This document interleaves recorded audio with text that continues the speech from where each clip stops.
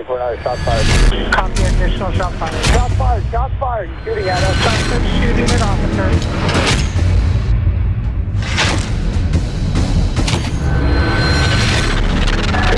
down. He's at the base of the stairs, white t-shirt, white male.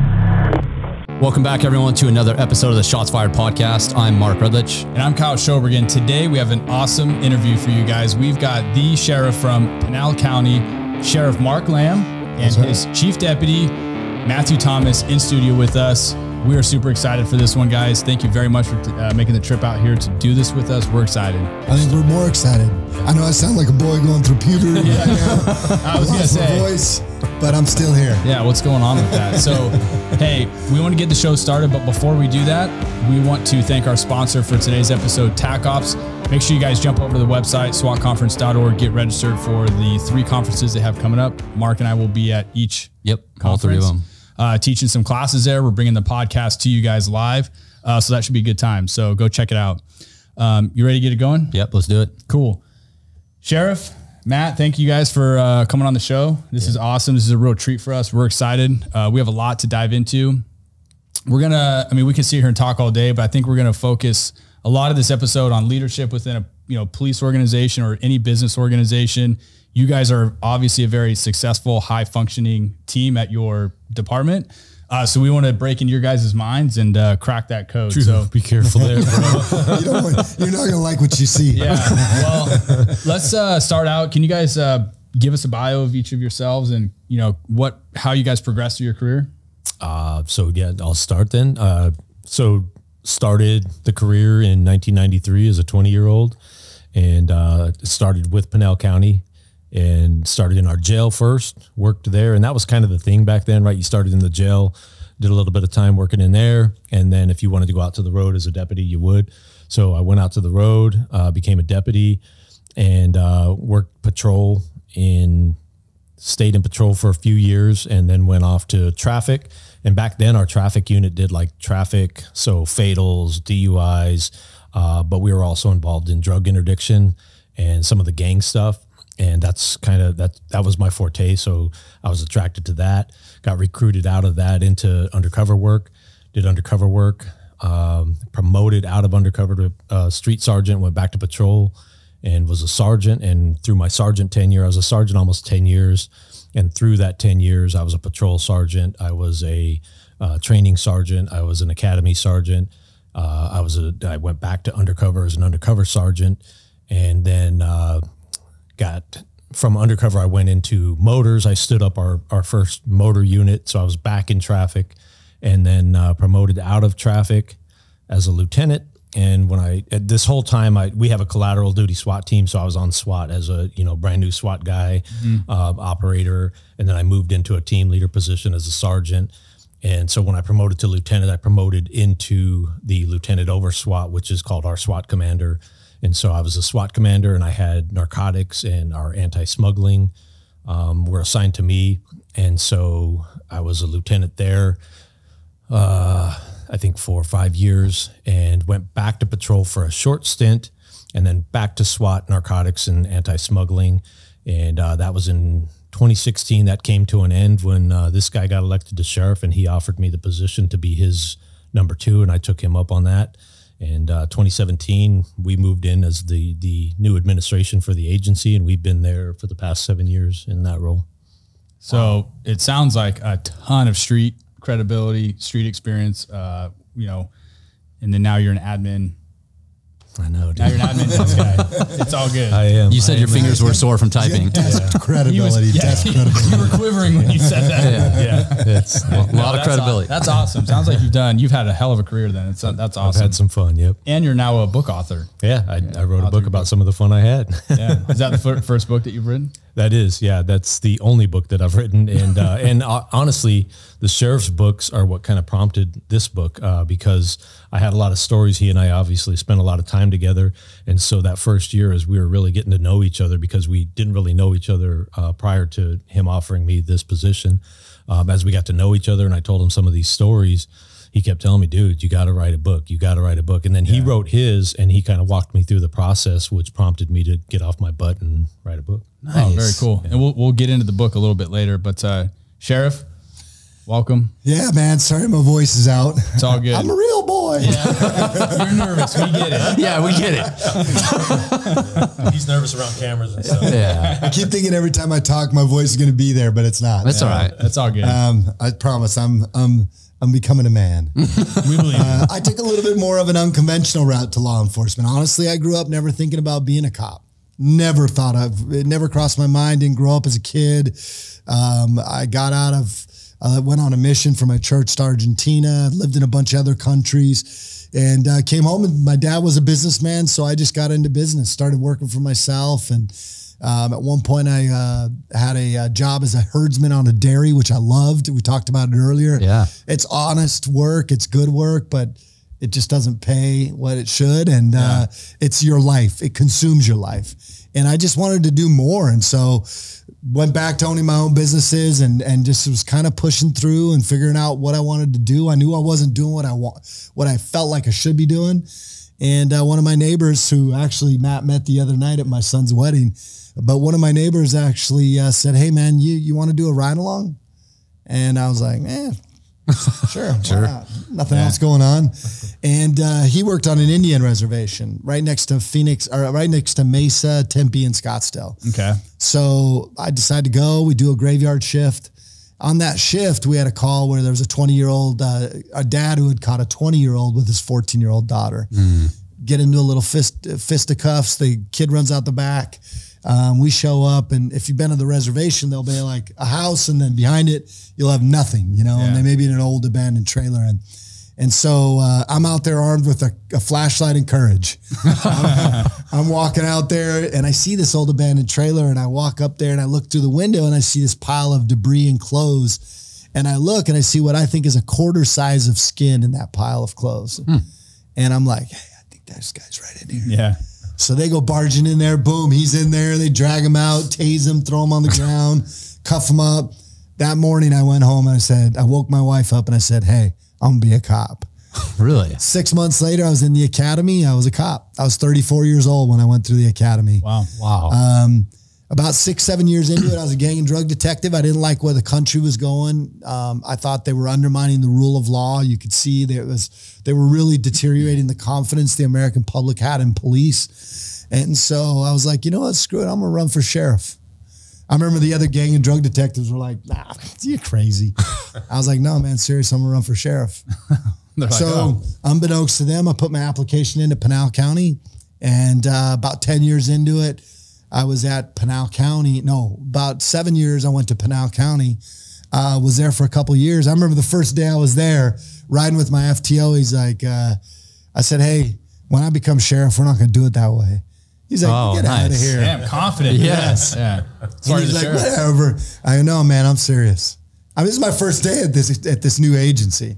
And he's like, ah, whatever. And I go, no, no, seriously. When I become sheriff, we're not going to do it this way. And a couple years later, I left so I could run for sheriff. Came back, knew nothing about politics, but I knew marketing and I knew, um, you know, running a business. And so I got into it. Uh, decided to run for sheriff in 2015. Uh, almost didn't. I almost decided not to do it, but uh, I told my wife actually one day I was called her from Utah. I was working in Utah, and I said, "Hey, I'm not going to do this. I've read too much stuff. I'm, I'm just not going to do it." And then uh, she she said, "Okay." The next day, I couldn't shake the feeling. The next day, I couldn't shake the feeling.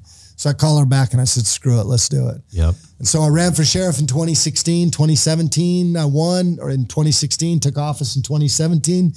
Um, it was a no brainer. I called, I actually, my, my, so Matt's my chief deputy.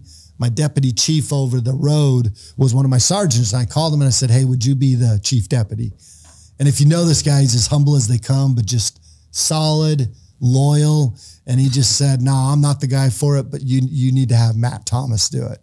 And so I had known Matt, um, but I not not we didn't know each other that well. And so, I mean, I immediately we gave him the job because I trusted that guy, and uh, and you know he's been an amazing leader. And where we're at as a sheriff's office is partly because of me, but a lot because of him and the other chiefs and the other supervisors we have. I get to go out and be the face of the agency, but they get to go out. They do all the work. They do the dirty work. So I just get to take credit for it. But uh, that's kind of my story in a nutshell as far as law enforcement relates. When I ran for sheriff, I'd been a cop for 10 years. And uh, a lot of people said, well, you haven't been a leader. And I said, no, leadership is not defined by uh, stripes on your sleeves or bars on your collars.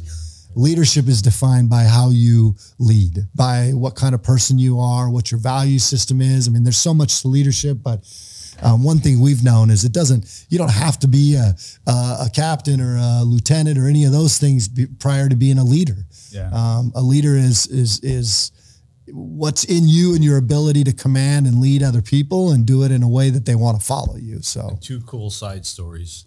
Uh, so he said that I, I, I met his first FTO, or actually the guy who gave him the ride along that turned him into a cop.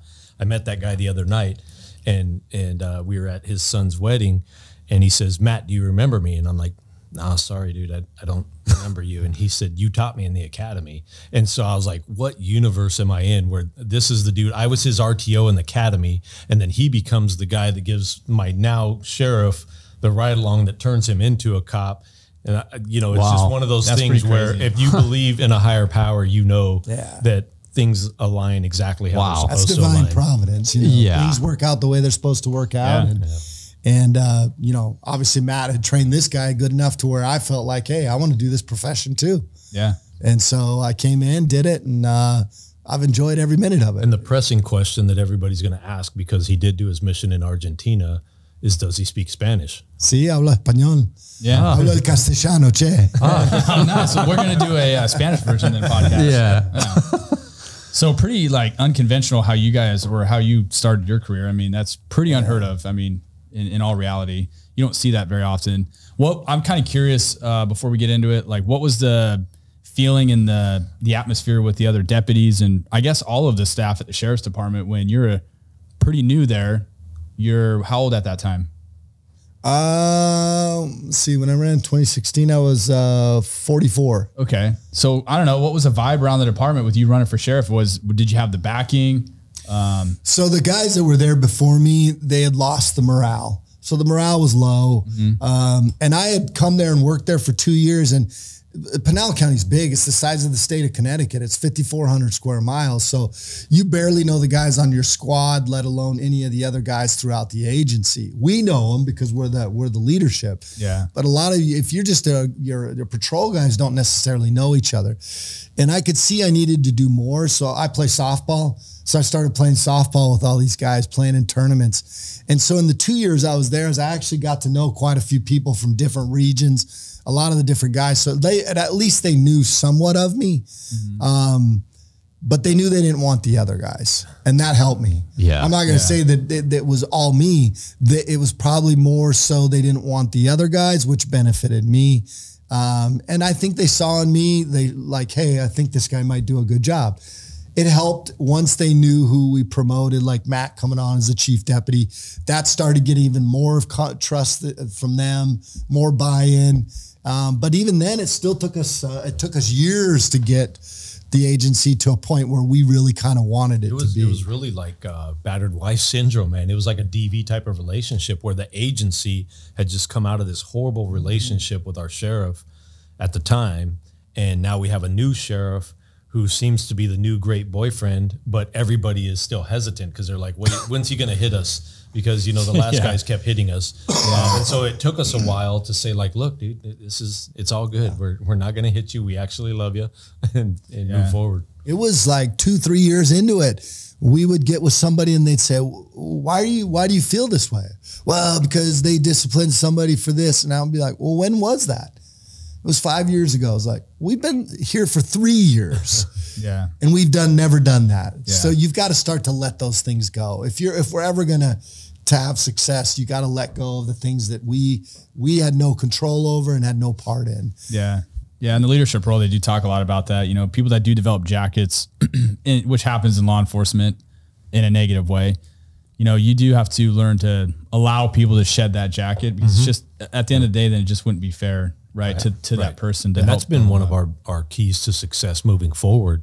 Um, and and I think I'm at a disadvantage over him. His advantage is that a lot of these guys that have jackets uh, from back in the day and, and have in a sense been blackballed. Yeah. Um, a lot of those guys, he doesn't know that history, so uh, it doesn't give him any bad subjective opinion of them where I know the history and so I've got to override that. And and we talk to our leaders a lot about this is take the emotion out of your decision making like I, I don't care how I feel about this guy. It's how is this guy performing? And can he do the job that I'm asking him to do? If the answer is yes then it doesn't matter what I feel about him if I like him or not. That doesn't play into it. Um, and and for me that's a disadvantage because I have to I have to consciously override that sometimes Yeah. when we're doing stuff like promotions it, it gets tough sometimes because you'll have a preconceived notion about this person based on their history and their performance but you have to override that and give them the shot that they deserve to to try and step up What, what I find really fascinating is where I come in from in law enforcement, it was you promote within, you move up, you have to do a certain amount of time, and then you get those people that move up quickly. And there's always a perception of, well, they don't have that experience, they're not sure what they're doing.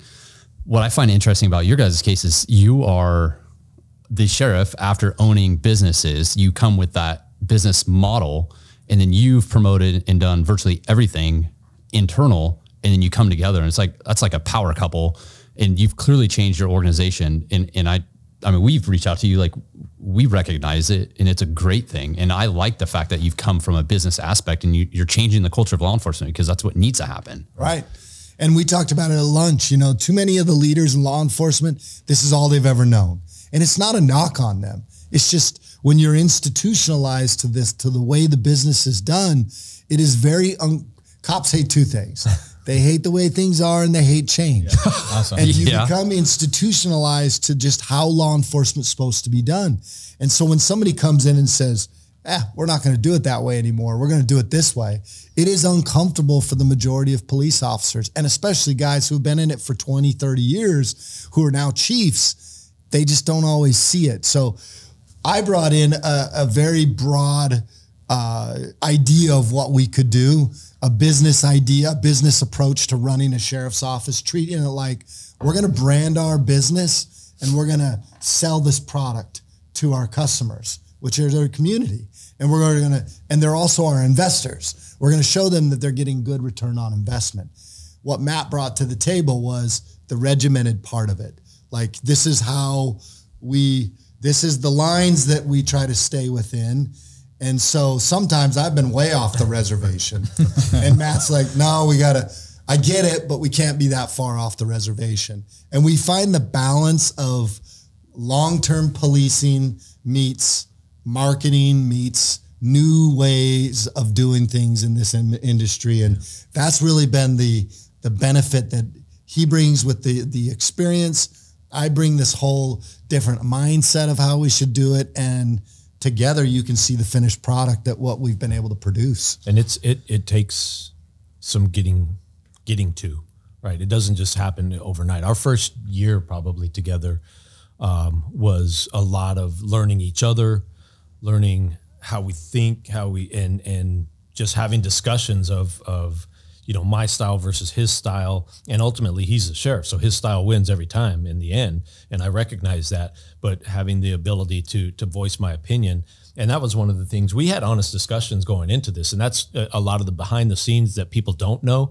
is when he offered me the position actually when when the guy he was talking about first reached out and said hey matt um, you know mark lamb's going to run for sheriff wants to know if you'll be his number two and i'm like dude get the hell out of here like what do you actually want? And he's like no dude that's like legit what's going to happen. And he, that's what he wants to know. And i'm like nah dude stop messing with me blah blah blah because he's a jokester. We call him the emperor because he's the emperor of jokes. Um, but uh, i thought he was messing around. Finally we get down to it and he's like dude i'm serious. He wants to know. And i said well look dude i'm a lieutenant in the agency. Uh, if he's looking for somebody to give him dirt on these guys so that he can use for his campaign, I'm not the guy. And he's like, dude, that's not what he wants. He just wants to know an answer to the question. and I'm like, well, yes, I would be interested. And to his credit, he he basically said, I understand where you're at. I understand your current role. I don't want to communicate with you at all until we get to the point we need to communicate. And so we never talked excuse me, we never talked until we got to the, I think it was after the primary that we Wow, had. really? So he had won the primary. Then we had a discussion about, hey, here's here's what I'm thinking. And then uh, I I was really blown away at the interview process because um, when he said, hey, I, I want to interview you because there's a couple people I'm talking to. You're the front runner. I said, okay. And he says, me and my wife want to come meet with you and your wife. And I was like, Huh. never taken my wife to an interview, bro. yeah. um, but to his credit, it was he had a very specific reason, and so we met, and he explained to me his values, his mission, his objectives, and that family was of the utmost importance, and that it needed to be a, an all-in thing. Not only me, but my family had to be comfortable with this decision, and we all had to be in it together, and that's why we had the wives there too for the decision. And he was talking for about five minutes, and I was just like, "Dude, I'm in. I'm I'm all in." Like you're talking my language, and we kind of went forward from there. And and so it it just started as a as a good starting point because we had an understanding of each other. He knew where I was coming from. I knew where he was coming from, and and we pushed forward. In the first year, we had some stumbles, you know, because I again I I've he's the sheriff, and so um, I don't know if he'll ever admit this, but he had to get used to being the sheriff because uh, the the first funny story we have is we go up to the executive suite, which is on our third floor of our building. And he's like, "Hey, what office do you want?" I'm like, "Bro, you're the sheriff. Yeah. Like, you tell me what office Yeah. I'm getting." And he's like, "Well, which one do you want?" And I'm like, "You're the sheriff, dude. You pick." And and so it was the first funny little thing where we were like, "You you have no idea who you are right now, right? Like, you don't know your Probably not. yeah, It takes time. Yeah. It takes time. And you know, for anybody out there that's a leader that's taken over in a different position, is there's always a a, a, a feeling out process of trust. Yeah. I, yeah. And you can't undermine it. You know, you've got to grow into it.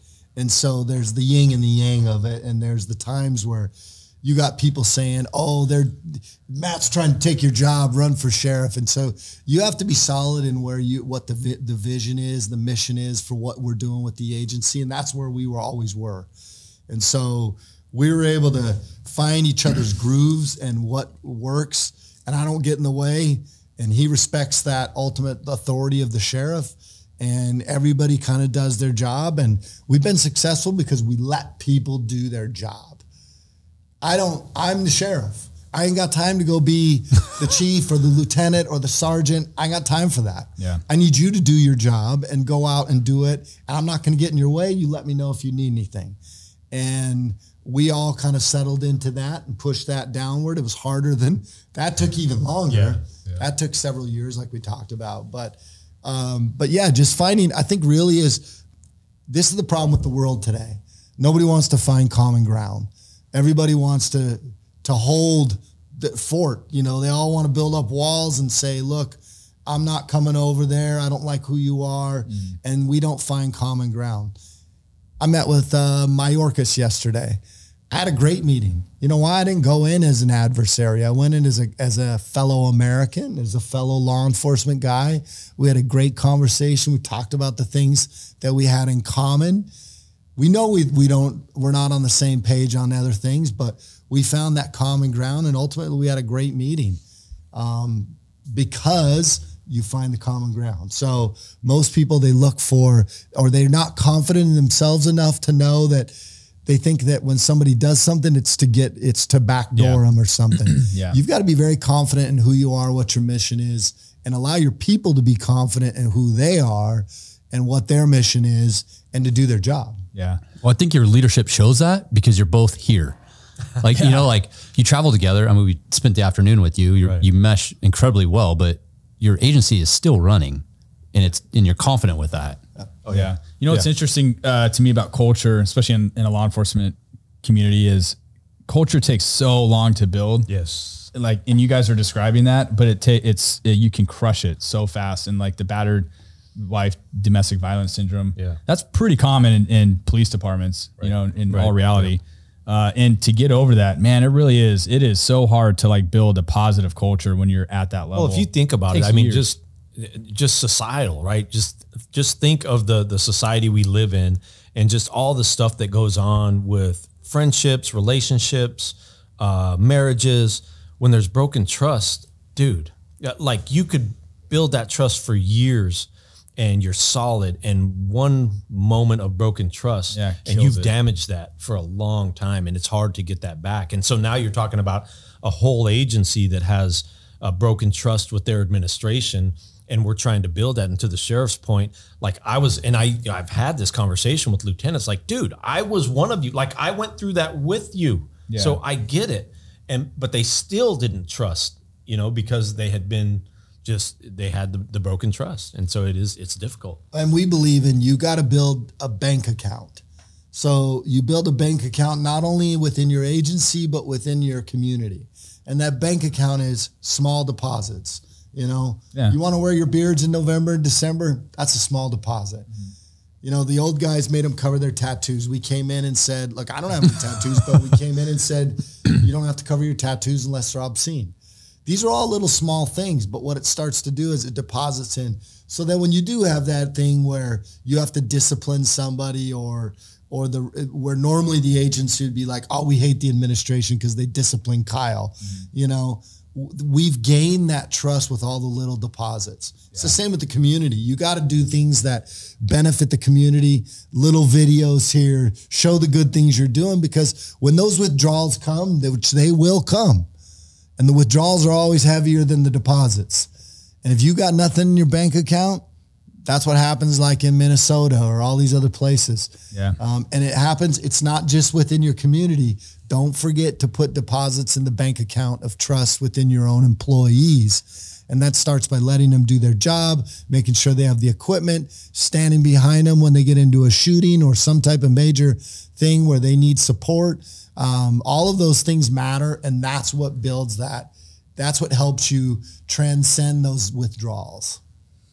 Well, I think that kind of dovetails a little bit into we wanted to talk about recruiting and retention because that seems to be the number one problem that most agencies across the country are having. And you guys are have seemed to nail it. And you talked about it already, Sheriff, and that's the uh, marketing side of it and the business aspect that you bring to the table.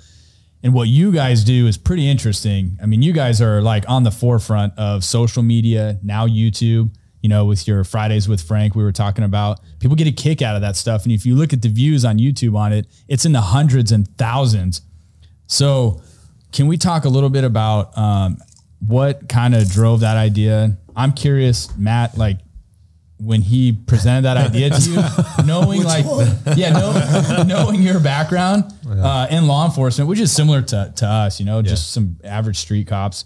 Um, and then now you've got a guy that comes in and he's your boss and he's like, we're going to do these things on social media and, and bring in, you know, uh, videographers and all this stuff like Well, that pretty much goes against what we have all done in law enforcement. Yeah, and, and it does. It goes against the traditional grain. But I'll be quite honest with you. How it all started uh, was was me.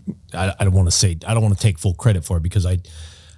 It was a conversation that I had that I then relayed to him that started this ball rolling, right? And so there there were two things that helped us progress forward, and uh, one of them was I had always felt the way that we did PIO work in uh, law enforcement was wrong. We tried to train cops to be professionals in media, and they knew nothing about that world. And so that was one of the things I told him that that I felt we needed to switch, and we needed to recruit from the media world and just teach them about the cop stuff. That would be way easier.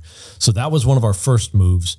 And then one of our other moves is uh, I had done some media work locally because we had the spotlight on us for a few years because of the smuggling stuff. So I had made a lot of contacts in the the, the TV world.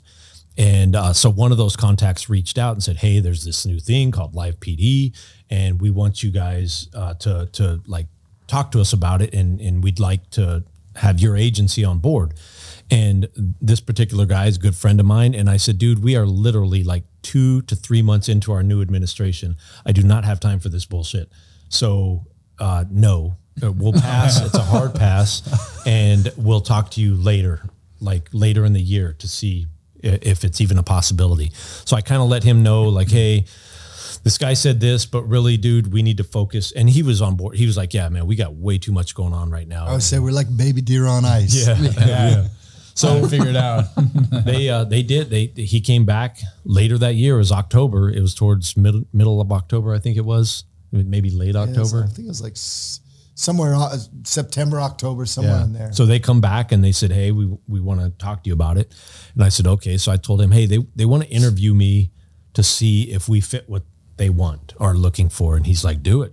So okay, so I had gone to Colorado for a sheriff's training on a Monday, flew on a Sunday, started on a Monday, started the conversations on Monday. yeah, Wow. and and so By Friday, they were filming. yeah, No shit. no So, way. wow. I I do the interview and they're they said we'll call you back and they literally called back I think within 30 minutes and they said okay we, you guys are in and we want to be there filming next week and I was like holy shit whoa like there's a lot that needs to be done right with contracts IGAs all that kind of crap right and so we slowed the boat down a little bit um, and and then uh, the sheriff kind of took it from there Yeah.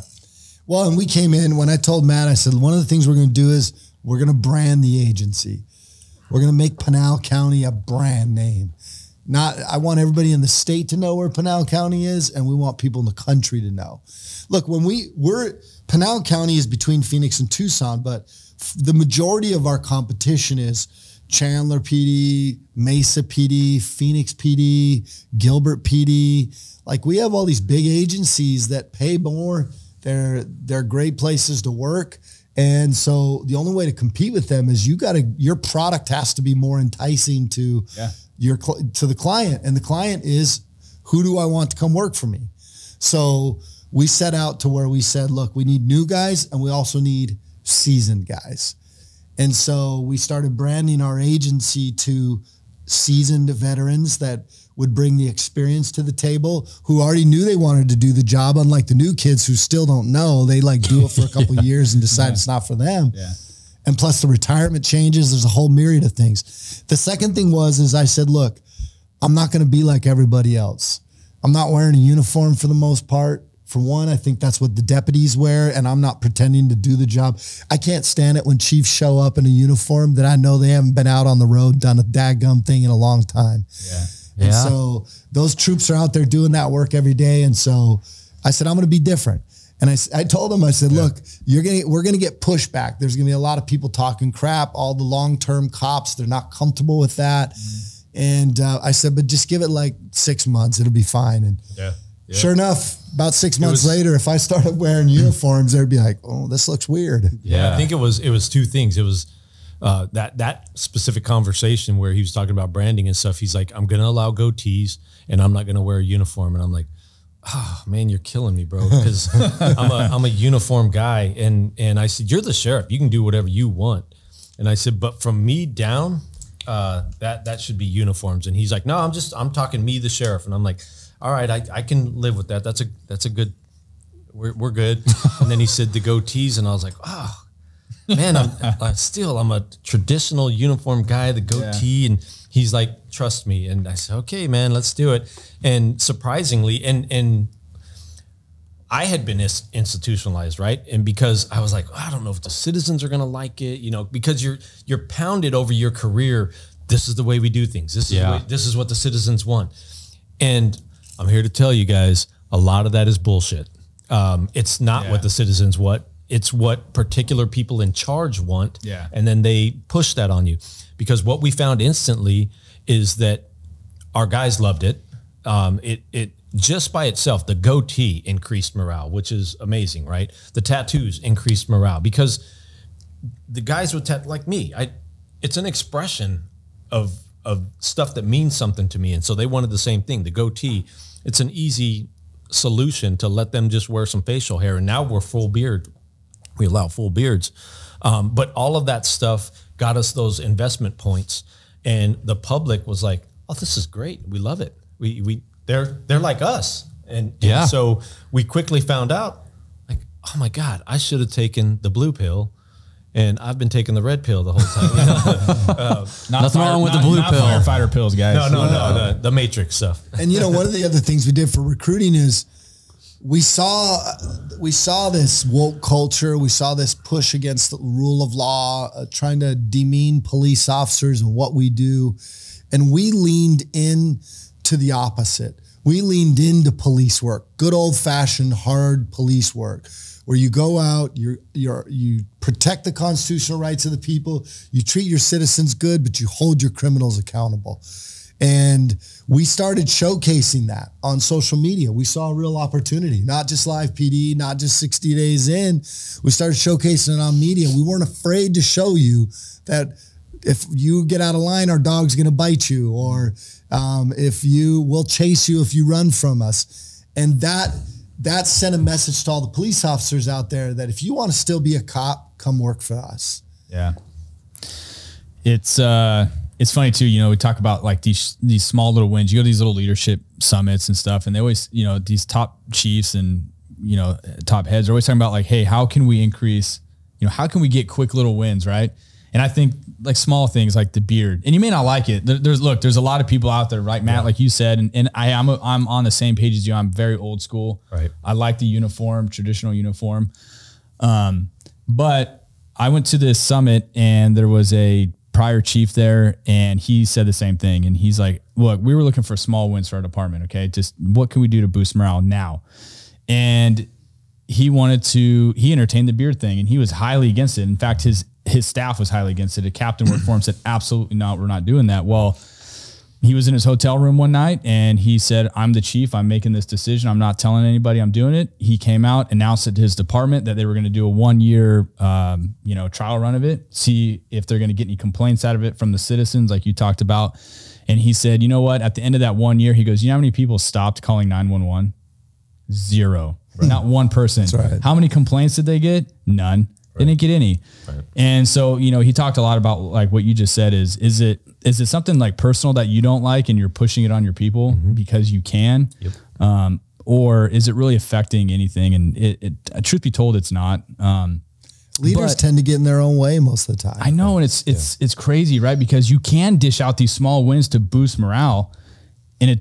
How much does a, a beard cost? Yeah, it's- it's free. How much does a tattoo cost to you? Nothing. You're not paying for Right, it, right, yeah. right. Well, you are when you're getting the tattoo, but I'm just saying in general, as the sheriff and you, or a chief, and you want to push that down, that's not costing the city, the county. It's not costing you anything, and you're still getting that little win. Why? Why would you not want to invest in that? Well, and we would go ahead. and, and I was just going to say, we don't look at the open market enough. Look, they say that eight out of 10 businesses that exist today won't exist in 10 years. What does Yeah, that true. say? That means that everything changes. Um, 10 years ago, Facebook was barely coming around. You know what I mean? 15, 20 years ago, we didn't even have computers in our houses. And if we did, they were big clunky things. So like things change, but in law enforcement, we just have this way of wanting to keep everything the same. Yet we're not, uh, the world's passing us by. And that is exactly what we got caught in, in, in the late 2000s and then again in the in uh, 2020 we got caught because law enforcement refused to progress along with everybody else. And it's not big things it's just little things. And because of that we find ourselves behind the eight ball again. And so now it takes work to get on top of it. Well, and one thing that we talk about quite a, li- a bit with leaders is uh, the illusion of control because it's an absolute illusion. But the problem is, as cops, we're used to controlling, right? We're used to controlling scenes, controlling events, and trying to minimize damage and loss of life and loss of property and all that stuff. So we're used to controlling. But when it comes to stuff like this and when it comes to leadership, you can't control. And so it's all an illusion. And so you have these old school thinkers that think, I can control my agency, I can control how people think about us by controlling stupid stuff like beards and tattoos and and it's all just an illusion. And, and we try to tell our people let's let's just go with what we feel is right not what somebody tells us or not what some leadership school says. What feels right to you? Like does it feel right to make this move? And if it does and it's the right reasons and it's the right thing then let's do it and be damned with the naysayers because they're the ones that are sitting there spinning their wheels and wondering why can't we recruit? Why can't we retain? It's because you can't get out of that box you're stuck in I I wholeheartedly agree with you. And the sad thing is that it's probably the if you were to do a poll with police departments or sheriff's departments, it's probably the number one complaint they're going to have is right now is recruitment and retention Right. everywhere.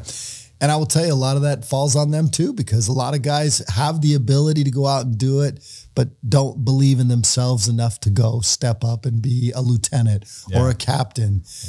It's never going to change if we don't get the people with the right mindset. Matt was willing to take a chance. He went from lieutenant to a, an at-will position as a chief deputy. I went from having to leave the profession, run for office, jump back in it as a sheriff. I was fortunate enough to win. But unless you're willing to take some of those quantum leaps in life, there's a great book, You Squared. Um, if you haven't had a chance to read it, it's an awesome book. Talks about taking those quantum leaps in life, and and uh, you've got to be willing to take the chance because if if you don't, we don't get good people trying to get into leadership positions, then we're going to end up with the same crap. Yeah. What is your? I'm curious on the leadership portion. What your, not necessarily the selection process, but what do you look for in a leader? Because maybe seven years ago when you came in, Right. it was difficult to to make a little bit of change. But now that it's kind of the ball's in motion and people are like, okay, these are great ideas. we, we we had to do it right off the bat because if you think about it, um, when he took office, he immediately created vacancies that we had to fill. So I left the SWAT team. I I, I left command of the SWAT team, narcs, and our anti-smuggling as the lieutenant. So I immediately had to fill that void. So we had to find a leader that could fill that void. Um, our third in command, we had to fill his void. So we had to fill some voids. And then naturally, as an incoming sheriff, there's some people that he knew right off the bat do not fit in his command level. And so there were people that were leaving that we had to fill those roles. So what we had to, uh, I had to get his vision of what he wanted for leadership and I had to mold that into essentially a testing process and and and me him our third in command really worked on it nailed it down and and shit I think we spent probably a month just in office going through how can we properly test for what we're looking for in a leader. And and so we created our testing process which it's it's not super difficult. Like when we're talking about command level leadership executive levels um, we created a process where they have to they go in and there's a written process. And the written process is essay style questions because we're looking for depth in their thought process and in their leadership skills. So we ask them a very simple question.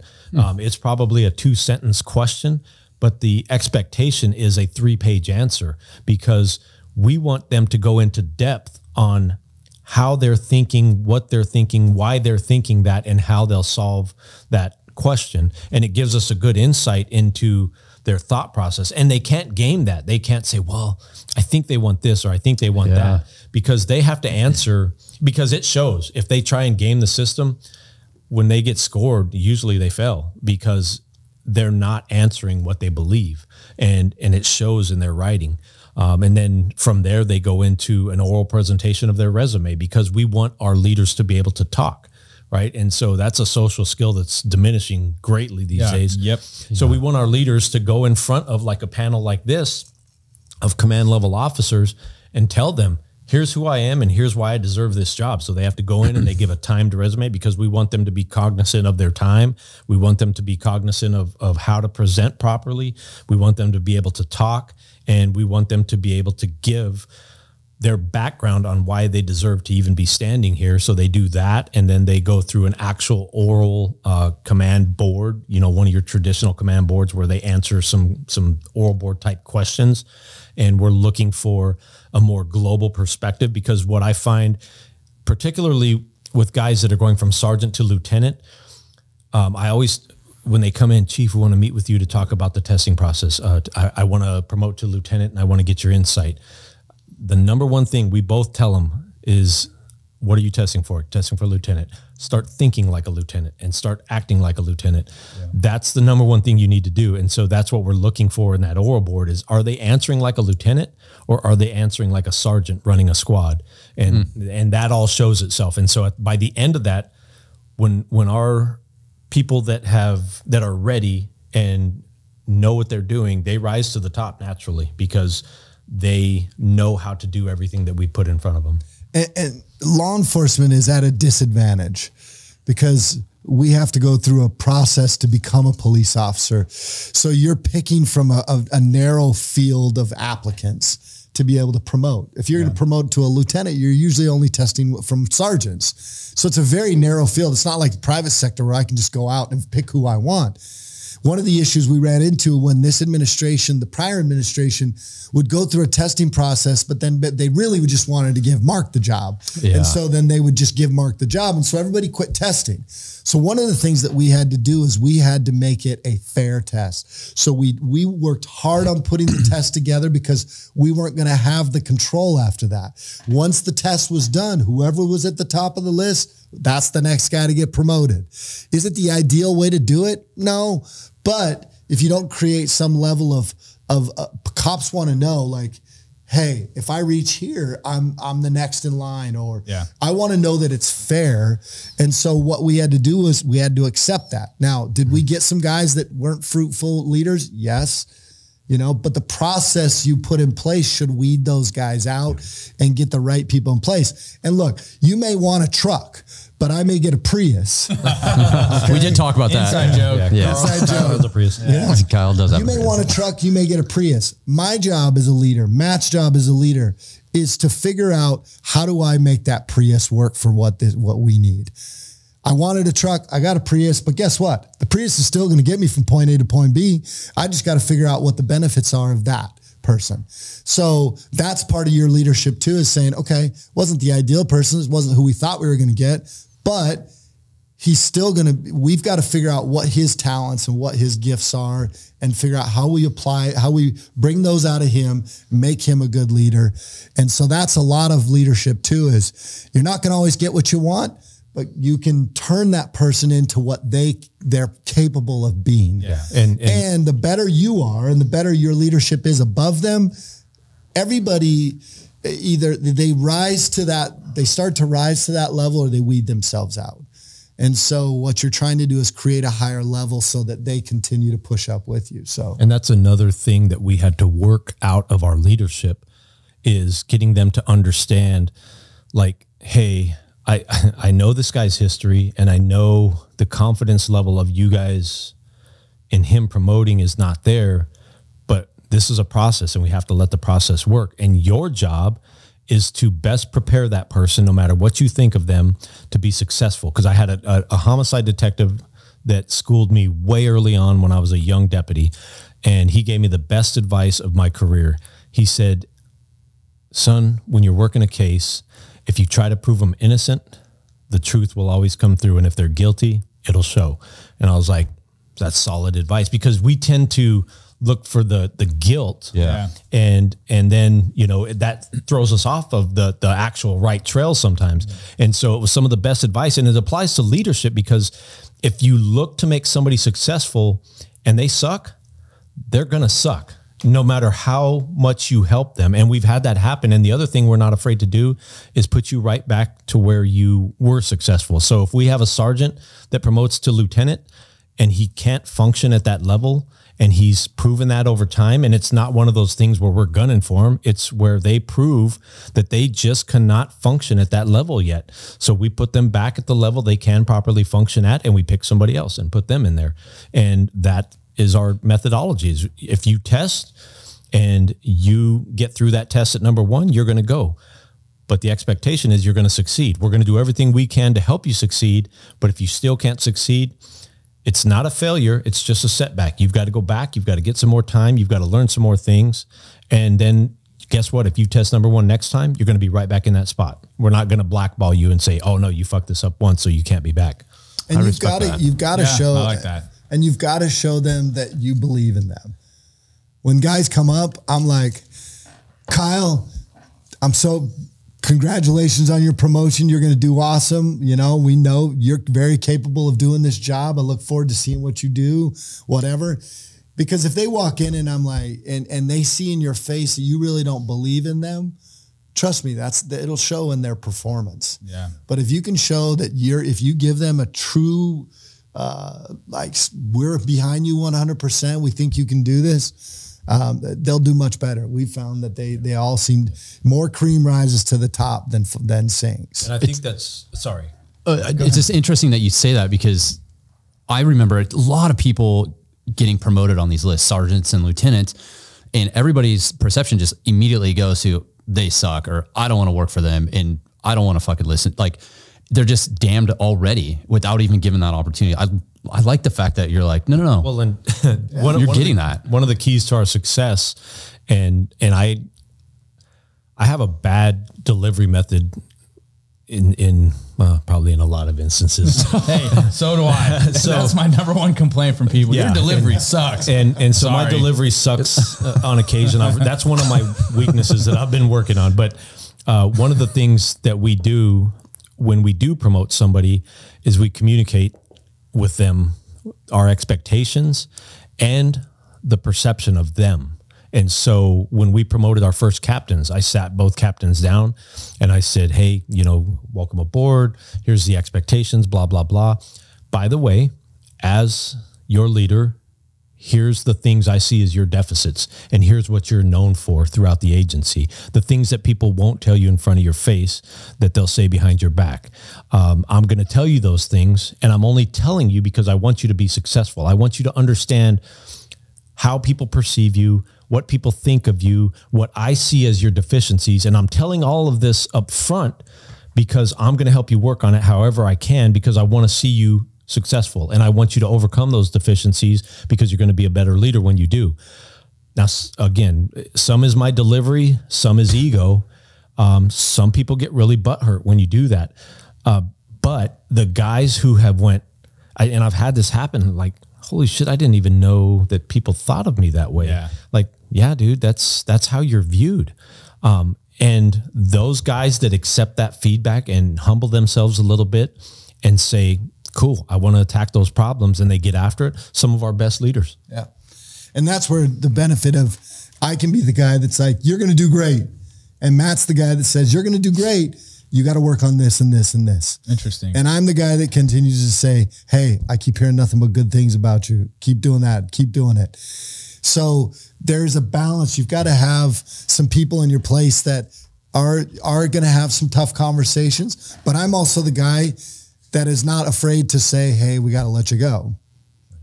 You know, that's just the way it is. Yeah. It's a business for me. It's a business, but you've got to have Matt. Matt and I work real well with, together because I can be the good guy. He can be the good guy, but he can be the honest guy and say, "Look, you got to work on these things and these things." And we we, have. we jokingly said in, in the very beginning, I told him, I said, look, any good news is all you.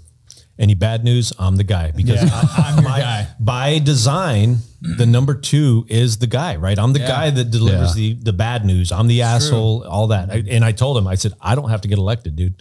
You do. So, you know, Yeah. that that's a that's a thing, whether you want to admit it or not. And Yeah. and honestly, he's the head of the agency. He's the face of the agency. So it is his his job to bring the positivity and to and so in you know uh, Colonel Powell was a phenomenal leader, and, and one of his sayings was, "You bring the weather, right?" And so that's the sheriff's job. He brings the weather. If he comes in, he's like, All "Everything skies." sucks. Yeah. This sucks." like California, baby. Yeah. Well, if, if he came in like that, people would be like, "Oh, this sucks." But when he comes in and he's like, "You're doing great. You're doing great. We're all doing great." Then they're like, "Oh shit, we're, yeah, it's it's good." And then again, I'm the guy that pulls them aside and says, "You are doing great, but we just got a few things to work on."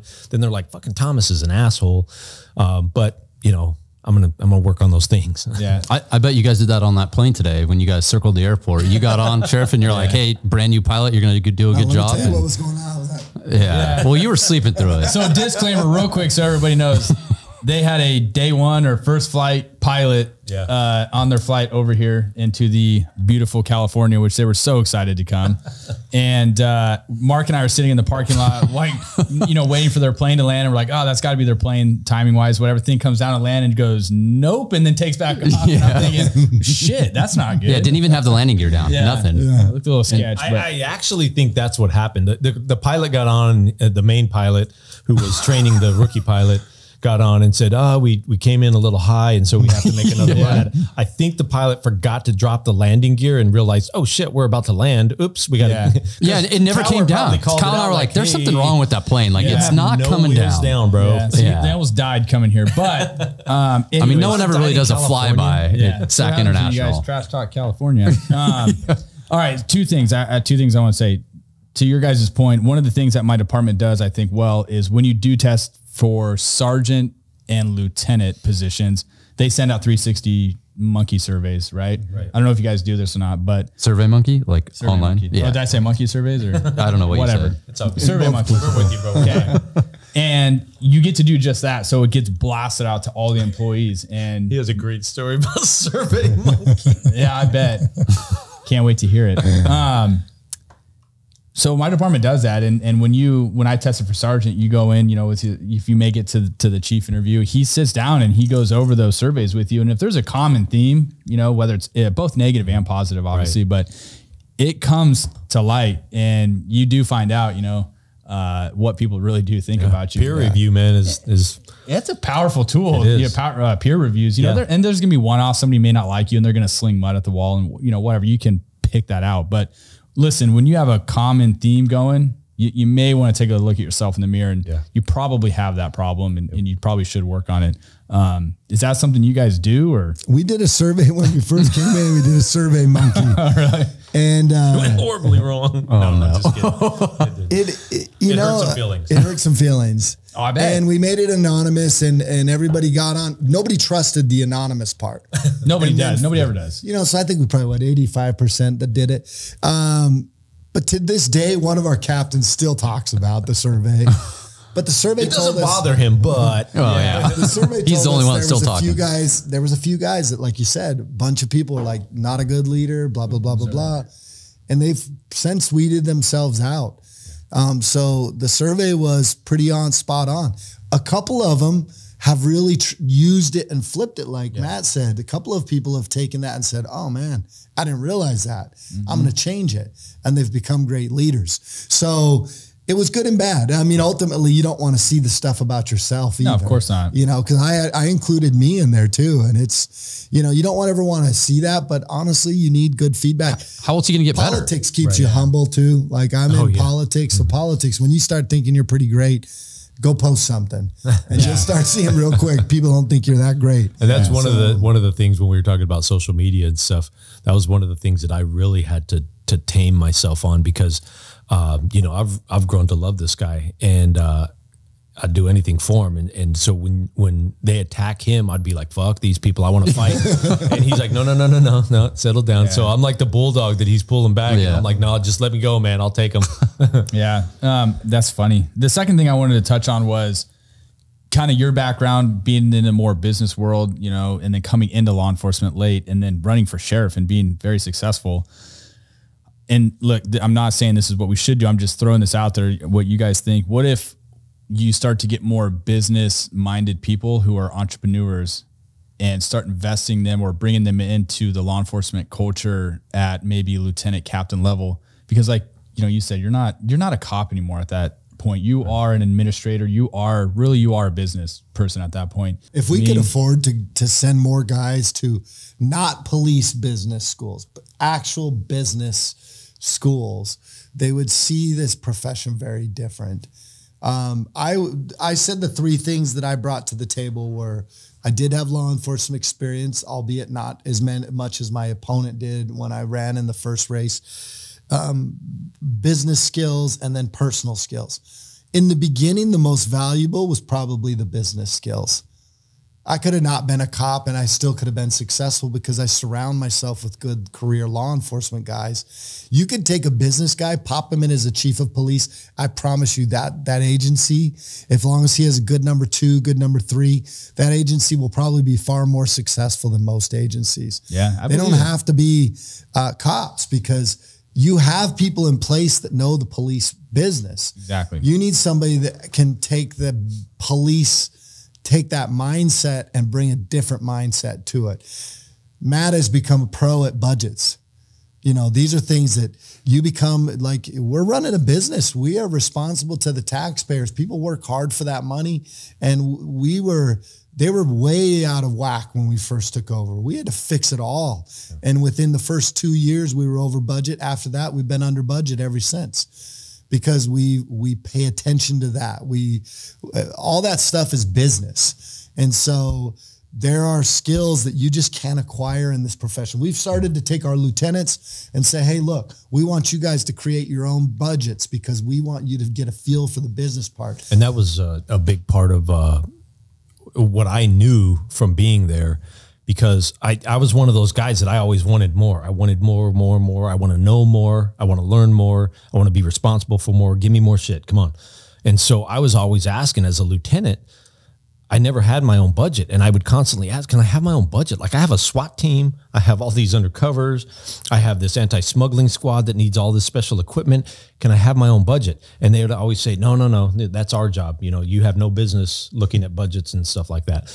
Um, and so they always shunned us away from that, which is a disadvantage for anybody trying to move up, right? Because you're not learning.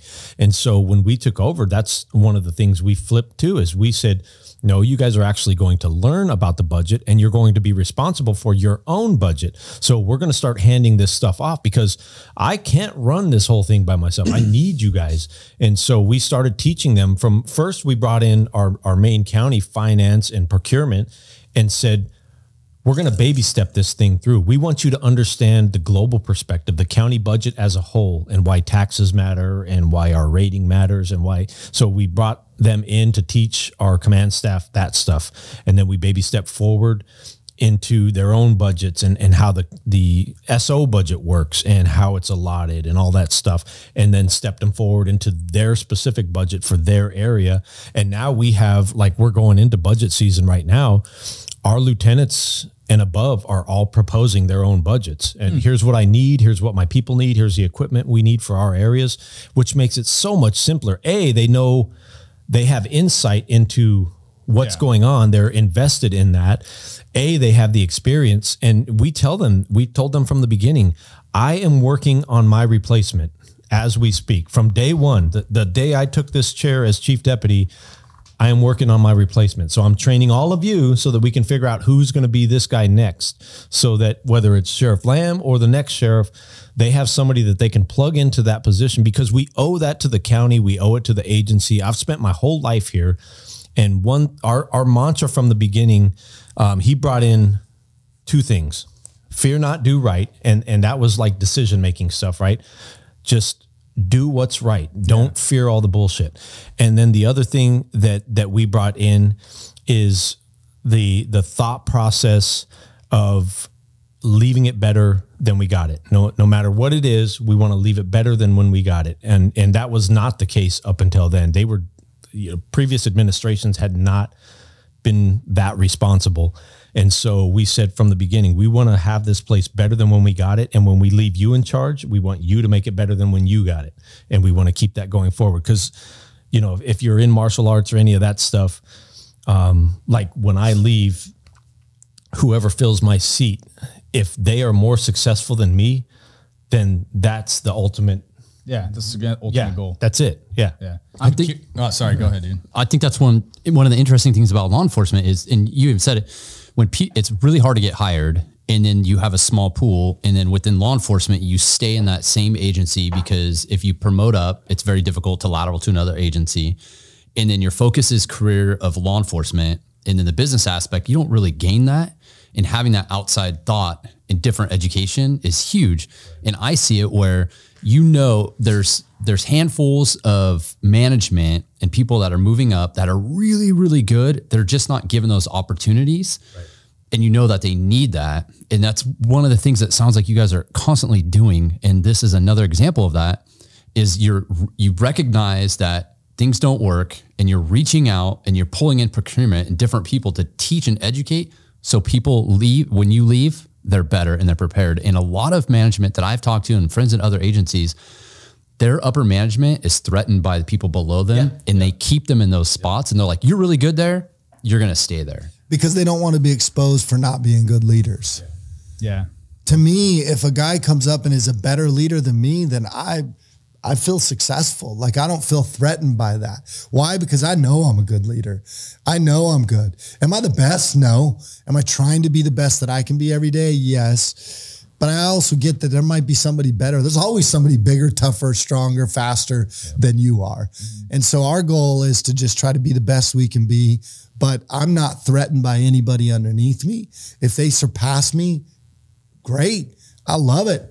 I'll and that be- empowers them. yes. Everyone gets better. But Well, a lot and- of and I that is think- threatened. Most of those people that are are that push people down are threatened because they don't want to be exposed for the fact that they're not the leader that they should be. Yeah. right Agreed. and they and rather than rather than have the humility to say like uh, for for me walking into this as a lieutenant no budget experience. So i went from like my max budget experience was probably a million dollars over like my narcs and stuff. That's about the the max capacity budget that i had experience with. I stepped from that literally from one day to the next, 1 million is my capacity to 50 million. So in one day's time, I'm responsible for a $50 million budget. We walked into a $3 million deficit. And so we have a $50 million budget with a $3 million deficit that we have to fix. And here you go. Here's the keys to the city. And so we have to figure that out because the last guys, that's the other thing that we we've promised ourselves is no matter what we think of who takes these seats next, we're not going to torpedo them to try and make them unsuccessful. We're going to set them up for success. Whether it's differing views, let's say a Democrat sheriff came in and won, and we didn't like that, right? And and we didn't feel he was going to do a good job. That still doesn't mean that we're going to torpedo them because that's what happened to us. They they gave us a deficit, a crappy budget, and said, "Here's the keys. Good luck." And it's like, dude, why would you do that to an agency you care for, and people you care for, and a county you care for? Um, so we are not going down that road and not going with that model. We're going with the make it better than we got it, help the future leaders and whoever they are, and try and just be better stewards of the money and the the resources that we're given as a as a hmm. government entity because we're responsible. And he says it all the time. I'm responsible to the people that hired me, which are the voters. People, yeah. I like it. All, all these young cops out there are listening to this going, God damn it, why are we listening about budget stuff? Like, listen, you little young Thundercats, we're giving your bosses some really good Kyle. advice to make your job better. So, Dude, well, and I'll give you an example Seriously. of that for for the young cops that are out there. Like, what are we talking about? I'll tell you why we're talking about budget because I was the SWAT cop kicking doors who couldn't get shit. I couldn't get the night vision I wanted. I couldn't get the weapons I wanted. I couldn't get any of that shit because it wasn't in the budget or I didn't plan it properly. Blah blah blah. When I got the keys to the budget, guess what happened? SWAT dudes started getting the SWAT shit they needed. They started getting the equipment they needed. They started getting the resources they needed. And that was true for all of our units. Our guys hadn't gotten raises for 11 years. Wow. Now they get raises almost every year. And you're s and you're and you're Why? still under budget. It's a business. I've been in sales for a long time. I know what, how to build relationships of trust so that when it comes time to get my people what they deserve, I go to work. I start to do all the, the the legwork of building those relationships, using you know the sales tactics to be able to get the things from the county that we need to get, but at the same time being cognizant to the taxpayer. And, and it's give and take too, learning the, like the sheriff saying, learning the business side of it to where you understand when you're dealing, because when we're dealing with county government at the executive level, you're dealing with CFOs and CEOs essentially. And so understanding that, hey, it's not just about us because cops get caught in that trap too. Like Yeah. we're the police. We we should get everything we mm-hmm. ask for. Yeah, but public works also needs the things they ask for. And taxes, they need the things they ask for. And so it's give and take where you're meeting with that leadership and you're saying, we need 20 cars. And they're like, well, we need a bulldozer. And if you get 20 cars, then we won't get a bulldozer. But if you get 15 cars, we can get a bulldozer. Cool. Then let's go with 15 cars so you can get your bulldozer. And then the next time around, they're like, you know what? You gave us our bulldozer last time. So let's give you five extra cars because you shorted yourself last time. And it's that kind of stuff. It's those business negotiations that go on in relationships. and they don't just affect equipment; they affect when my guys go out and chase somebody um, and do the things, do the door kicking, do the uh, roughing people up, all that stuff. Everybody knows we're running a business here and we do it very proficiently and we do it in a manner that doesn't get sued. We haven't been challenged our merit. We have not been sued one time on any of the discipline we've given. Um, we, we have, but we've been victor- we haven't lost any of those cases. And so all of that is business, but it allows the cops out there, the guys that put on the badge, the door kickers to do their job and they don't have to worry about all this level of it. Yeah, that's why I said that. I mean, I was joking about the young cops, but seriously, this is like gold. Listening to this because as the young cop, they they, they don't you don't understand everything that we're talking about You right can't. now. It's not your job. No, but what a huge impact it makes on your job as the patrol guy or the SWAT guy or the canine guy or whatever it is that you do. Like this stuff right here is going to make your job that much better. Oh yeah, and that's uh, again another big thing that we push in our leadership. Um, that that we push down throughout the leadership ranks is leading down, right? Because uh, the old days of and and it's different in emergencies. I get that. I, you know, I'm I, even though I'm not really a cop, I, I still dress up still a cop. Yeah, but I, I know how cops think because I've been one long enough. And, and so when it comes to emergencies and shit, I get it. Like it's hey, you do this, you do this, no questions asked. Let's go. I get that part. But when it comes to normal operations, we can't function that way. And that's what the police world is stuck in. Do it because I said do it. Well, that doesn't work, man, mm-hmm. because I want to know the why behind what I'm doing. And I don't know, I don't want to know the why because I'm challenging your authority. I want to know the why so that I have an understanding because I'm trying to learn and I'm trying to absorb because I want to be you one day. And so I can only get there if I understand what it takes to hmm. get there and, and understand why you're thinking what you're thinking, why you're giving the orders that you're giving. And so that's another thing that we push is like give these people the explanations that they deserve because A, it's going to help them. And B, it's going to give you buy in and it's going to make everybody's life a lot easier. And it's going to give them a different perspective that they don't normally get. And, and it just helps the whole process. Wow. I think this whole segment on leadership Here, was yeah. I mean, there's so great. many like I mean, Oh, look, dude, rabbit hole. dude, It's real- all, the it's all reality is intertwined. Yeah, like you, you could spend a week talking about leadership and really not even scratch the surface. But like these are all like super good nuggets for people. Oh yeah. I look, I don't know how many chiefs or captains, or I, I know there's some admin that, that listen to our show. They've reached out to us, and uh, this is good information. I actually do a thing where I say, I do leadership training and I say, I have a slide that says it's your fault.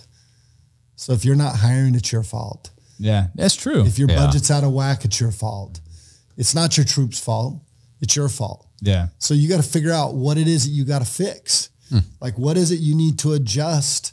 Because ultimately, you're the guy. If something's wrong in my agency, I don't get to go bitch to anybody. It's my fault. Mm-hmm. And I better get to fixing it and figuring out. Now, do I have people that help me fix it? Yes. yeah. But I think oftentimes leaders are like, oh, the market sucks. We can't hire anybody.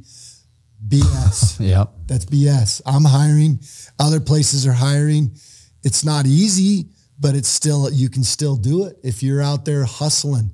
Um, most cops will tell you, uh, look, I'll sit in a room full of chiefs and I'll be like, how many of you are having troubles hiring? They'll all raise their hand, and I'll say, how many of you, when people ask you if you would be, if you're, you want your kids to be cops, tell them no. I said, stop. If you you cannot bitch about people not wanting to come into this profession, if you are telling them not to go into this profession, Ah, that's pretty powerful. and I'm like, stop telling people Wow. that. I was doing it, and finally I had to realize, you know what? No, this is a great profession. It's an honorable profession. We need warriors now more than ever, and so absolutely you should get into this. If you want a challenge and you want to have a great job that pays you a good, consistent salary, I've been a businessman where you don't get a check every two weeks. Yeah. These kids get checks every two weeks. They don't- they they underestimate the value of that. Um, they get a retirement. They get all these things. It is still a phenomenal job. It- leaders got to stop telling people, "Oh, I would never tell anybody to do this job." Then stop bitching about being hiring. You Yeah. know, because you're part of the problem. Well, and, and one of the things we uh, we do, we have a graduation Thursday. We have a graduation. We have some detention officers graduating, and so we'll go over and uh, welcome them to the profession. And one of the things the sheriff has allowed me to do as a chief is I give them a chief's letter, and it basically welcomes them to the profession, and it it kind of lines out for them, welcome to the profession, welcome to a huge family. Um, here's the expectations. We expect you to be a guardian of the position you're given, and we expect you to be a warrior when the time comes. Like this is a no bullshit job, and sometimes it calls for violence. And I had a, a, another great old guy told me one time. He said, "Son, we are in a customer service environment in policing. If the customer demand, demands violence." We got to give it to him, and we got to give it to him quick, and we got to give it to him hard, and we got to give it to him fast because that's what wins fights, and that is what keeps you alive. And so we kind of tell our guys that, and we give them this opening letter. Welcome to the profession. Here's our expectations. First, we expect you to be a guardian and a pillar of your community, and then we expect you to be able to get down and dirty when it's time to do that. And and we back you on that because What we else know. is in that letter? And the last thing is that we give them a pocket constitution and we tell them this is your guiding principle. This is what we all swore an oath to. So we give them a pocket constitution to carry with them because we always want them if they're if they're ever a question in their head, they should pull that out and that is their guiding document as to how they do their job. Nice. Constitution trumps policy every day of the week. Yeah. Yeah. Wow. You guys uh, share like a powerful message with people. I mean, you guys are. Uh, I, I guess it is why you, you know the American sheriff. I mean, dude, seriously, like you're what you guys bring to the table is not something you see all the time in law enforcement. You guys have a different philosophy on this, and it's really working. And I I really like it. I, I it's like I don't know. We need to get more people on board with your guys' style of you know philosophy. know, know what has to happen. And I, I, like the sheriff, you know, I speak sometimes and I tell guys, you have to be willing to lose your job when you take this job because there's going to be a time that you have to stand up against a huge crowd and tell them, I don't care what you think. This is what's right. And we're, we're saying that no, this is right. And this is the stance we're and COVID was a perfect example of that. We took some hits during COVID because of our stance, but I'll tell you what, and you can be wherever you want on this subject. But when it was all said and done, we were on the right side of history on that one. And oh, it Oh, was yeah. because we stood for Yeah. the right stuff. Somebody asked, said to me the other day, well, the Chiefs can't say that. And I said, yes, they can. They may lose their job, but they can absolutely say it. Yeah. It's true. And that's the difference. Like, I look, there's no guarantees. Yeah, it's a little bit easier for me because I have a four year term, but that doesn't mean that I'm not going to get voted out when that term is up. You know, I could, so, but we've never, for us, it's never been about whether we stay in power or whatever. For us, it's about doing what's right. And if it's good and by the people, then they'll vote you back in. If not, then you take your ball and go home. Yeah, and we're we're both uh, guys of faith, right? We we have a strong faith in God, and when we took these positions, that was one of our discussions that I didn't talk about. Is uh, I'm a big predetermined guy. I, I believe that my my number's already punched. I just don't know the date, and so it's coming eventually. Um, that my path has already been predetermined. I have a little bit of influence on that. I can be like the Israelites and roam for 40 years, or I can go the way I'm supposed to go. And so when we got into these positions, that was one of the discussions we had. Is like, let's go with what's right. And a lot of times when we have a tough decision, we will. He'll he'll say, you know what?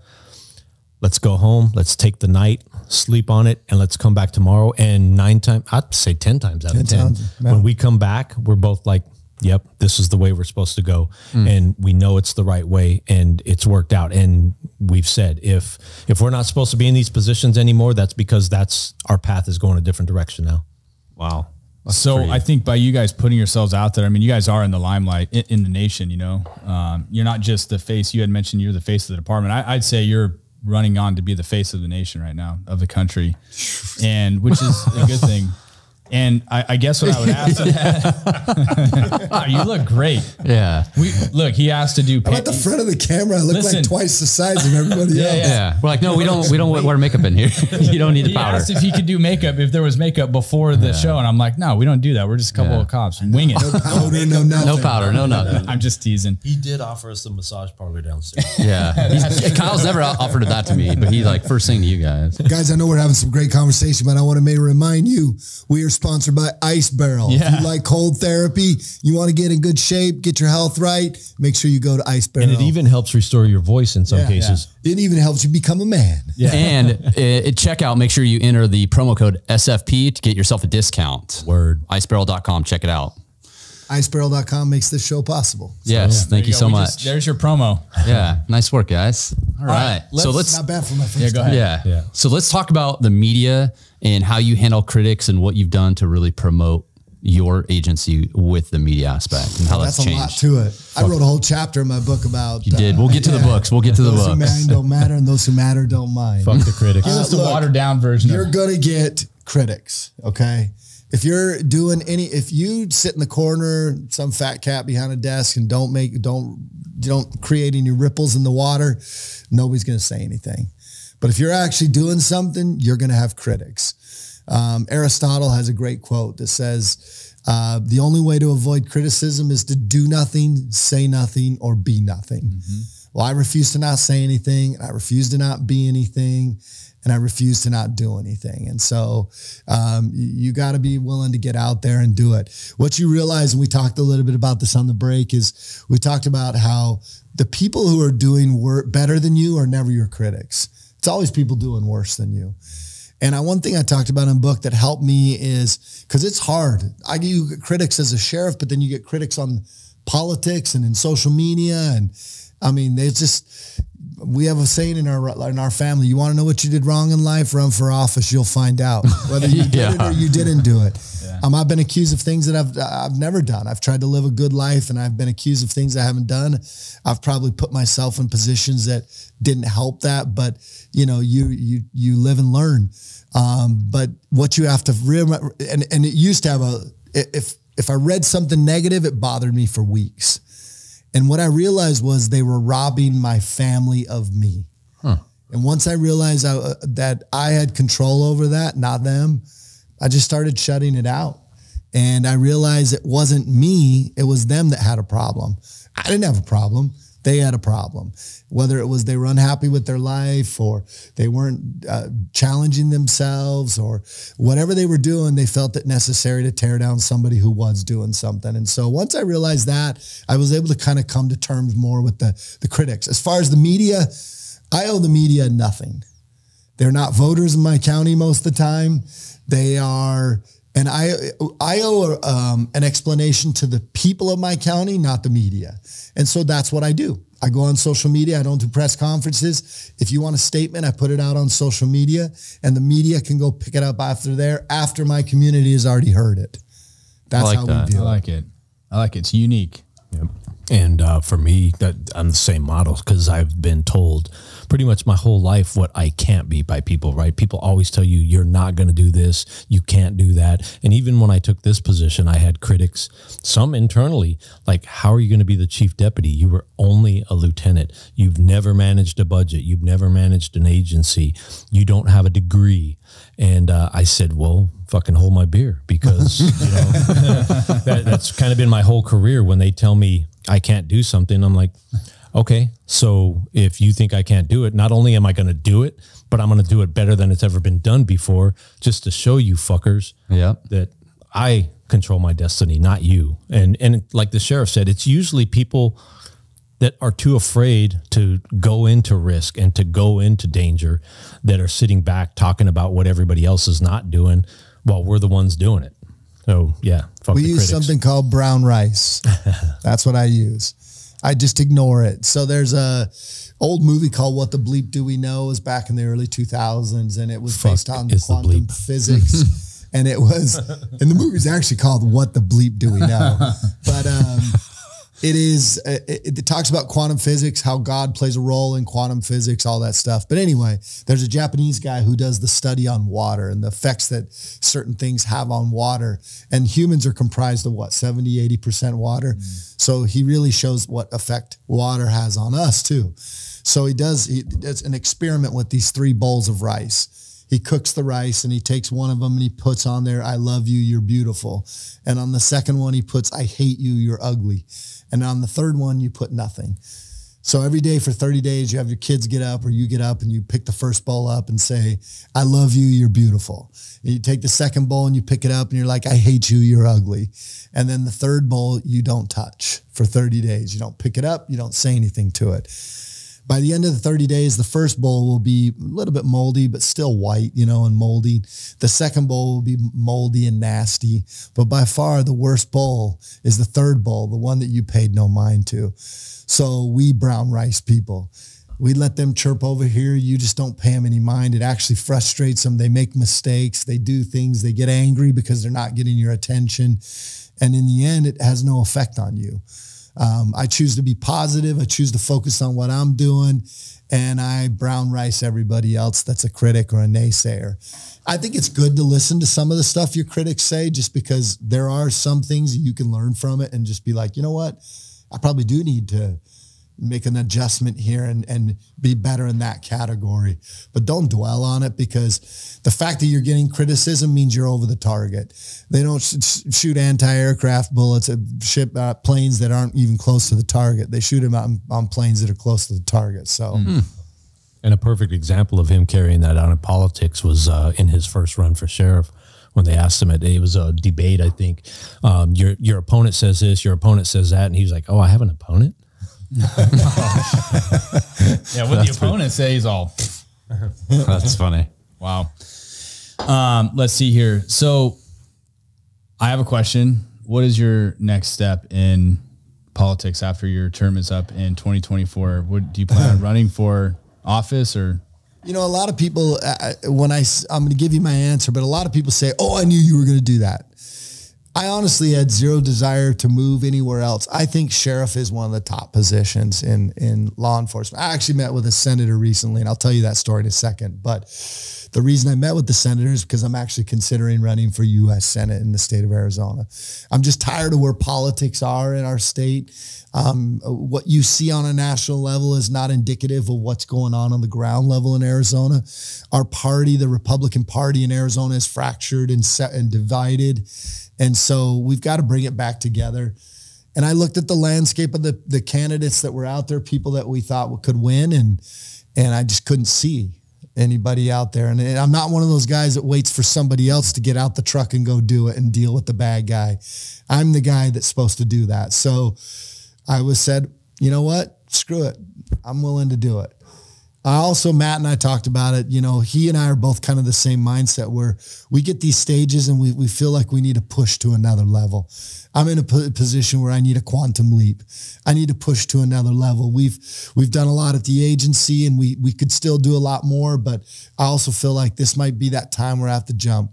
You know, and then I lost my son and my granddaughter and my soon to be daughter in law in December in a tragic car accident. Coming put me off the rails for a few weeks, maybe a month. But then when I came back, I realized that life is no guarantees. There is no guarantee of tomorrow.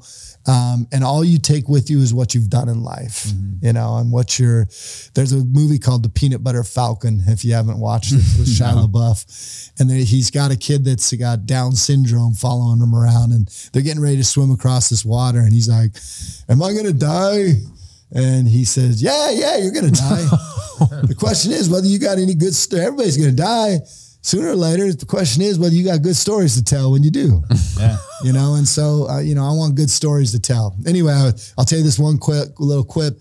I went to meet with a senator, and he says, "You know, why are you considering running for senate?" And I said, "I really don't want to. I got the greatest job. I'm the sheriff."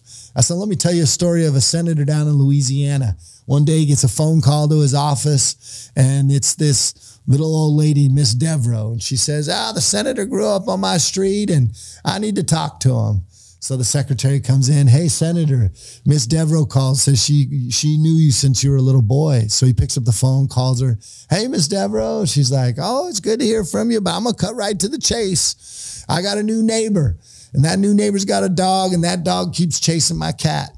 Well, that dog chased my cat up into the tree today, and now my cat won't come down. And he says, well, have you thought about calling the sheriff? She says, it's a cat in the tree. I didn't think I had to go all the way up to the sheriff to get this fixed. Yeah. That's how I feel. The sheriff is the best position, but Yeah. um, you know, our state needs something, and um, I'm willing to step up. And in the end, if it's meant to be, it'll be. If not, you know, then uh, I'll, I'll probably jump into the private sector. But that's the next step for me. And um, you know, we've been. It's a hard decision because I love being at the sheriff's office. I love what we've done. I love the employees, and I feel a sense of uh, commitment and devotion to them. So that's that was the hardest thing for me to kind of make that decision. Yeah, I bet. Well, talk a little bit about your guys' books here. What, uh, where can people find them? A little bit about them, and uh, yeah, So I wrote this book a few years ago. It's American Sheriff Traditional Values in a Modern World. I just think we've lost value, lost contact with traditional values of toughness and and overcoming difficulties. That life is not all, you know, roses and and and sunshine. You know, life will punch you in the face over and over again. And so a lot of those things I talk about in this book and a lot of personal experiences, kind of a background on my life intertwined with traditional values. And then I wanted to write a second book called uh, American Sheriff Rules to Live By. I'm somewhat of a Renaissance man. I like to read. I like uh, I like the classics. And um, there's a poem by Rudyard Kipling, If. Uh, it's a great poem. And so this book is based on that poem, um, the different stanzas of the poem. I tell stories of the different founding fathers, the sac- stories of sacrifice, of courage, of determination, things that we need as Americans now. So it's American Sheriff Rules to Live By. You can get these at americansheriff.store, americansheriff.store. You can get them on Amazon too, but uh, why give some money to the big guy, you know? Give some, uh, if you come to me, I actually sign them and send them out myself. Um, just my wife and I doing this, and my wife has a couple books as well. And I know um, uh, when I wrote these books, I think everybody has a book in them. Everybody's got a Yeah. story to tell. Yeah. And um, and I told Matt, I was like, hey, you got an awesome story to tell. Like the things Matt's done in law enforcement, especially relates to the border, which is a hot topic right now. I was like, you should really consider writing the book. And, you know, to his credit, he did. Yep. So uh, for mine, it was uh, it was a labor of love. Kind of, um, I knew from the stories that I had told the sheriff about some of the stuff we did that were counter cartel operations, um, and some of some of the undercover stuff we did, and some of the unique, uh, just stories uh, as we went through them. Because when you you guys know how it is. Any cop out there knows how it is. When you're doing the cop work you're just like whatever. This is the work we're doing. It's what's in front of us. We're dealing with it. Um, but then when you start talking to other cops about the stuff you've done compared to what they've done, because a lot of it is normal, right? When we get into the SWAT world, a barricade is a barricade, HRTs are HRTs, search warrants are search warrants, some of them more extraordinary than others. Uh, but for this particular work that we were doing, there were no other law enforcement agencies in the nation doing the type of work we were doing as local law enforcement, right? And so we were out doing counter cartel operations on US soil where the cartel really holds operational control of those areas. And it was the remote desert areas of our county. And so we had done all these crazy operations, and a lot of it we were learning on the fly because it wasn't law enforcement; it was more military type operations. Um, so as I told him some of these stories, and I just told other people some of the stories, or you know, you get that dude, you should you should write a book, and you're always like, yeah, write a book. Who the hell is going to read this? and uh, um, you know, through our discussions, I was like, "Huh, all right, maybe I should. And then, and one of the big driving factors was like, man, a lot of good people did a lot of good work and put in a lot of hours fighting these bastards. And I really want to memorialize all the stuff that goes on behind this big camouflage curtain that the normal public doesn't see. Um, you know, the nights we spend away from families and the work that we're doing that nobody knows about that's keeping the country safe, them safe, their community safe. So I got a bunch of those operations together and then uh, it's on the Mexican cartels, it's on the Mexican culture. And so I knew like, okay, I'm a white guy, so I kind of have to qualify why I'm um, talking about the Mexican culture and how I know about it. So I start the book off with how I grew up because I grew up in a rough area of Phoenix. It's, it's the south side of Phoenix. It was uh, uh, predominantly Hispanic neighborhood gangs, all that kind of stuff. Um, and then as I got into my teens, uh, we moved out to a farming area, predominantly Hispanic. I worked in the fields next to the migrants in the summertime. Um, we would do summertime jobs out there, and so I was working with the migrants, still, you know, kind of immersed in that culture. And uh, married to a Mexican wife. Uh, her family is is uh, they actually came over illegally initially, and then got their citizenship later on in the '80s. Um, and and the area they're from is heavy with cartel activity, and they've been extorted, they've been robbed, they've been killed, and she has family members that have died at the hand of some of the cartels. And so I start off with kind of who I am, a little bit about me and why I know what I know about what I'm talking about, and then I go into the cultures of the the Mexican cartel themselves and how they've kind of hijacked. Uh, they have their own narco subculture within the Mexican culture, some of their religious beliefs as we've seen them, uh, their structure, how how we see their structure, and then how they operated in our county, and then I go into the operations themselves and and kind of take it from from there. And yeah, that's it, man. Wow. Awesome. Well, you guys got us copies, and I can't wait to read them. Yeah. Yeah. So Mine's like See Spot Run. so if you can, if you're at Hey, that that's my level pace. Reading, you're, then you're good Yeah. to go. And on mine has pictures because I'm a cop. Oh, perfect. a little bit of coloring book there. yeah. So Yeah, but hopefully people will go check them out. I mean, look, we Yeah. we do Oh, yeah, these yeah. because we want to share our stories, but at the same time, you know, it's uh, a labor of love, and it's you know, hopefully you'll come support us at it. Yeah. Um, Oh, and, so and, and for mine, uh, um, I have my own website as well. It's onetimenation.com. Uh, my my handle on Instagram is deputy one time, and so I took the one time and and uh, onetimenation.com, and same thing. They can order the book, and I sign them for them and send them out to them, or they can find it on Amazon, Apple Books, all that stuff. That's really cool. And the sheriff and the chief have agreed to if you guys drop a comment in this video, and the sheriff disclaimer said it's got to be a good comment. Yeah, good comment. It's got to be a good, cool comment. Uh, you can't guys, be like I hate those guys. yeah, yeah, we're not. You ain't getting a free book, but uh, no drop a comment, and you guys enter a free chance to win a signed book uh, by these guys, and we will uh, deliver that to you. So appreciate you guys uh, Via mail, doing most that. likely. Oh yeah, we're not coming to your door and dropping it off, Yeah, off. via mail. they were gracious enough to donate a couple books. They've signed them, and we will get them to you. So drop a comment and enter a chance to win the books. Gentlemen, uh, we peeled back a lot of layers of this onion, uh, particularly about leadership and policing and organizations and stuff. And it has been phenomenal. I learned a ton listening to you guys. Um, thank you very much for taking the time out of your guys' day, taking the time from your families, your organization to come here, speak with us, to our listeners and fans that watch the show. I mean, I, I seriously, I, I can't thank you guys enough. You guys have been fantastic. been awesome. You guys have been great hosts. Yeah, and we appreciate you guys and what you do, your service to your communities, and thank you to all you cops out there for. We do this because we love this profession. We love you guys. We love uh, everybody who puts on the badge every day. The feds, even.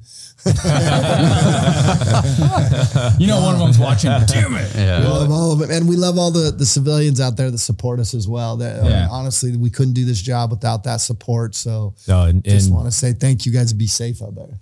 and uh, all the the cops out there listening, no matter you know feds, local, state, whatever. Keep the faith, man. Uh, you- we we got to stay in the fight. Don't be discouraged. Don't listen to the media. They're they're pushing a narrative that's not true. And I can tell you as a leader, and we talk to leaders all over the country of law enforcement agencies. The the narrative of the public doesn't like us is bullshit. Um, the public loves us, and those of you who are working the street, the patrol officers know this because you're dealing with it every day. So keep the faith. Don't listen to the hype. Do what you know is right, and just keep pushing forward because we need you. Fear not, do right. Oh, yeah. Well, thank you guys for being here. It's it's an honor for us to have you here. We know how busy you are, so we really actually want to thank your county for sharing you and and for everything that you know for sharing for everyone, for all of our listeners. I know I've learned a ton of stuff, and I'm going to take it to heart, and I have growth myself. And I know a lot of people have learned a lot. I wish you the best of luck in everything from here on out. Thank you so much. I can't wait to read your books, and you guys are amazing. So thank you so much. Appreciate it. All right, guys, thanks for supporting the show. Again, comment, like, and share it with a friend if you guys got value out of it. Subscribe to our channel. Helps us grow to be able to bring guests like this into the studio to give you guys good content. Trying to make everybody safe. You know, do do a good job. And um, with that said, we'll see you guys on the next show. And uh, take care. Keep moving forward.